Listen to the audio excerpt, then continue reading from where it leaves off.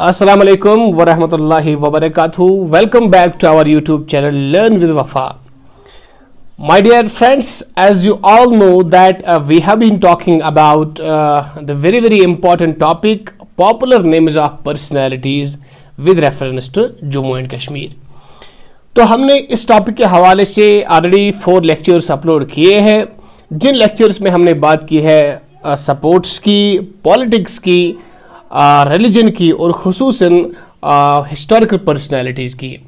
तो आज हम इस वीडियो नंबर फिफ्थ में लेके आए हैं साइंटिफिक डिस्कवरीज यानी साइंटिफिक डिस्कवरीज के हवाले से जम्मू कश्मीर में कौन कौन सी इंपॉर्टेंट पर्सनैलिटी है? तो इस हवाले से हम आज बात करेंगे और इस मौजू को, यानी पॉपुलर नेम्स ऑफ़ पर्सनैलिटीज़ को हम आज इन ताला अख्ताम पर ज़रूर पहुंचाएँगे। तो मेरे दोस्तों इस वीडियो को शुरू करने से पहले हम आपसे एक रिक्वेस्ट करना चाहेंगे कि अगर आप हमारे चैनल पर नए हैं तो इस चैनल को सब्सक्राइब ज़रूर कीजिएगा और सब्सक्राइब के साथ साथ लाइक करना भी और शेयर करना भी ना भूलिए। तो चलिए शुरू करते हैं अपने आज के इस मौजू को popular names of personalities with reference to scientific discoveries तो मेरे दोस्तों सबसे पहले जो सर फहरिस्त हमारे यहाँ है, वो है रमेश नाथ कोल बमजाई। याद रखिएगा। ये बॉर्न हुए हैं श्रीनगर में, और इन्होंने एक इंपॉर्टेंट अवार्ड भी हासिल किया है, वो है पद्मा पद्मा श्री इन 2012 में। Rameshwar Nath Bamzai is an Indian scientist in the field of human genetics and cancer biology. You should remember this point that uh, he is an Indian scientist uh, who is from Jammu and Kashmir और uh, इसका जो field है रमेश रमेश्वर नाथ कोल बमजाई का field अगर देखा जाए वो है human genetics and cancer biology So he is the coordinator of the National Center of Applied Human Genetics, School of Life Science और जवाहरलाल नेहरू यूनिवर्सिटी न्यू दिल्ली यानी ये कोऑर्डिनेटर रहे हैं इन इंस्टीट्यूट्स के जिनमें है National Centre of Applied Human Genetics School of Life Science और Jawaharlal Nehru University he has served as vice chancellor of Shri Mata Vishnu Devi university याद रखेगा जो श्री माता विष्णु देवी यूनिवर्सिटी है, यहाँ ये वाइस चांसलर भी रहे हैं। He was honoured with the Padmashri award by the president of India for his contribution to the field of science and technology in two thousand twelve as I have already mention about that he has received a very important award which is uh, Padma Shri. So you should know here that it was uh, presented to him by the President of India in 2012. You should remember this is a very important point. तो उसके बाद हम बात करेंगे प्रदीमन प्रदीमन कृष्ण काउ प्रदीमन कृष्ण काउ तो Pradyumna Krishna cow born हुए हैं 1948 में और इनकी डेथ हुई है 2017 में was an Indian plasma plasma sorry plasma physicist Pradyumna Krishna Kaw was an Indian plasma physicist. You should remember this. It can be asked. He had been the founding director of the Institute for Plasma Research and served the institute as the director from 1986 to 2012. Yani, uh, he has been uh, the founding director of the Institute for Plasma Research. यानी जो institute of plasma research है यहाँ ये founding director रहे हैं और ये इस प्लाज्मा रिसर्च सेंटर के जो डायरेक्टर रहे हैं फ्रॉम 1986 टू 2012 कब was born on fifteen of Feb, ये हमने ऑलरेडी यहाँ मेंशन किया है, लेकिन ये याद रखिएगा कि ये श्रीनगर में पैदा हुए हैं, जम्मू कश्मीर में। He was awarded the prestigious Padma Shri award India fourth highest honour in 1985 याद रखिएगा कि जिस तरह हमने ऊपर बात की है, भमजाई को भी पद्मश्री मिला था। लेकिन यहाँ प्रदीमन कृष्ण कौ को भी पद्मश्री से नवाजा गया। लेकिन इसको नवाजा गया इन 1985 में। और इसको और एक इनाम से भी नवाजा गया which is Shanti Swarup Bhatnagar award in 1986 yani consecutively he has been awarded for 1985 and 1986 on 28th December 2016, he was awarded the Subramanian Chandrasekhar Prize of Plasma Physics for his seminal contribution, seminal contributions in the areas of laser plasma interactions, strongly coupled dusty plasmas, and turbulence nonlinear effect in magnetic confusion devices याद रखिएगा।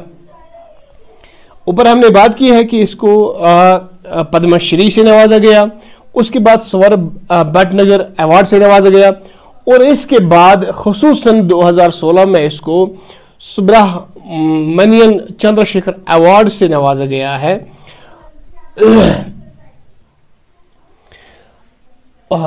तो ये Subrahmanyan Chandrasekhar prize of plasma physics जो इसको दिया गया है, for his seminal contribution in the areas of laser plasma interactions. तो ये काफ़ी इंपॉर्टेंट है साइंटिफिक डिस्कवरीज के हवाले से, क्योंकि इसने और एक भी इनाम हासिल किया है। He is also a recipient of 2008 T W S prize याद रखिएगा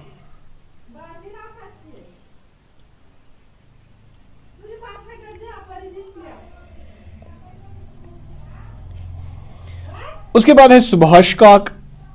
सुभाष काक बॉर्न हुए हैं 1947 में, श्रीनगर में. Is an Indian American computer scientist he is the professor of computer science and member of the Indian prime minister science technology and innovation advisory council याद रखिएगा, आसान तो है। ये एक इंडियन अमेरिकन कंप्यूटर साइंटिस्ट है और प्रोफेसर रहे हैं कंप्यूटर साइंस के। और ये मेंबर है इंडियन प्राइम मिनिस्टर साइंस के। जो technology and innovation advisory council है, उसके भी ये मेंबर है। In 2019 thousand the government of India award him with Padma Shri the fourth highest civilian award in India इसको भी बिल्कुल पद्म पद्मश्री अवार्ड से नवाजा गया है। तो उसके बाद है Fayaz Ahmad Malik. Fayaz Ahmad Malik is an Indian pharmacologist cancer biologist and a scientist at the Indian institute of integrative medicine of the council of scientific and industrial research ये आपको याद रखना होगा कि ये आ, एक इंडियन फार्माकोलॉजिस्ट है कैंसर बायोलॉजिस्ट है और एक साइंटिस्ट है और प्रेजेंटली कहाँ काम करते हैं? At the Indian institute of integrative medicine of the council of scientific and industrial research ये इसका नाम है तो he is known for his studies on investigating the regulatory mechanism of cancer stem cells during tumour metastasis metastats. So he is known for his uh, studies on investigating the regulatory mechanisms of cancer stem cells during tumor uh, metastasis. You should remember it.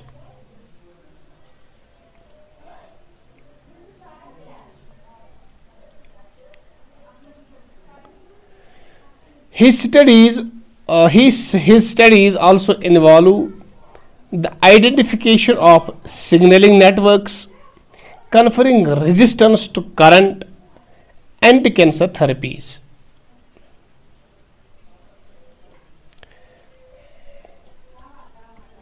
His studies also involved the identification of signaling networks, conferring resistance to current anti-cancer therapies. You should remember this. His discovery of new anti-cancer agents holds a number of patents for the processes he has developed इसमें तो ये आपको याद रखना होगा।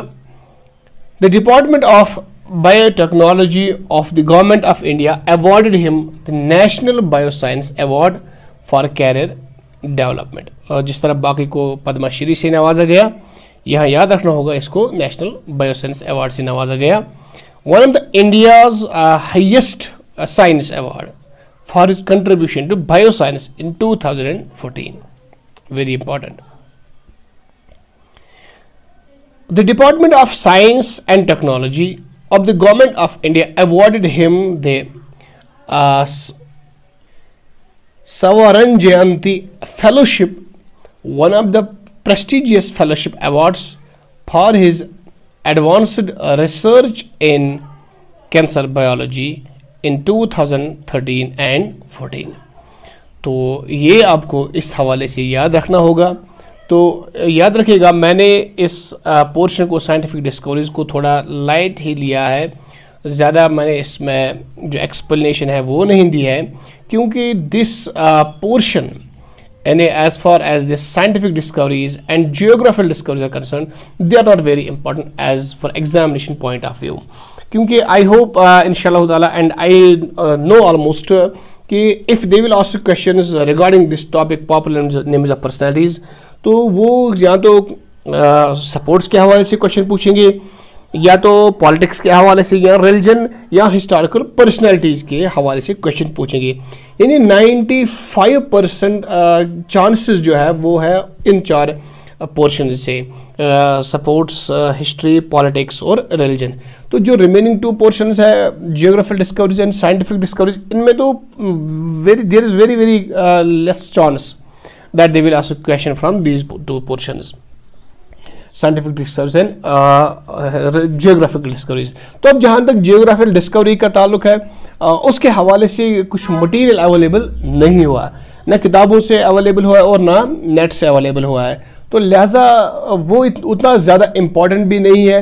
तो लेकिन जितना इस इस फ़र्स्ट लेक्चर में हमने इस फ़र्स्ट टॉपिक में हमने पढ़ा है पॉपुलर नेम्स ऑफ़ पर्सनैलिटीज़ तो हमने पाँच वीडियोस इस पर बनाए हैं। आप बिल्कुल इन ही पाँच वीडियोस पे फोकस कीजिए। और खसूस जो पहले चार लेक्चर्स है जो सपोर्ट्स है रिलीजन है पॉलिटिक्स है और हिस्टोरिकल परसेंट है इन चार लेक्चर्स पे आप बिल्कुल फोकस कीजिए।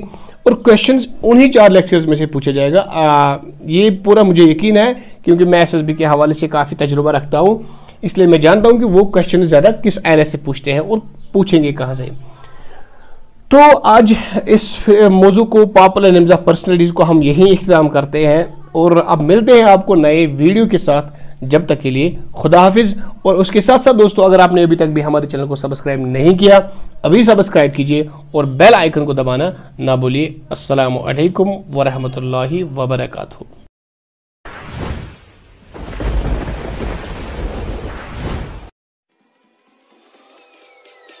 Peace.